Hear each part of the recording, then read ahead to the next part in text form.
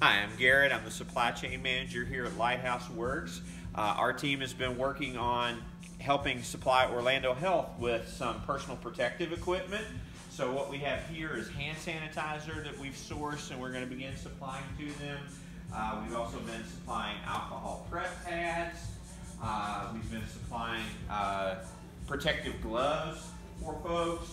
Uh, and we also have disinfectant wipes we've been sending out. Uh, we've also been sourcing N95 masks and uh, uh, face shields, various protective equipment to help the local community, medical professionals uh, be able to operate safely.